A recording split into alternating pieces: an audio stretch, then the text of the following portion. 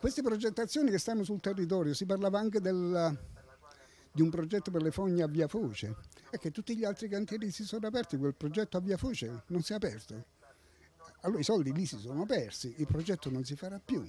Il progetto per l'acqua piovana col battitubo sotto, eh, sotto il ponte, allora quel progetto praticamente è saltato, non avverrà più.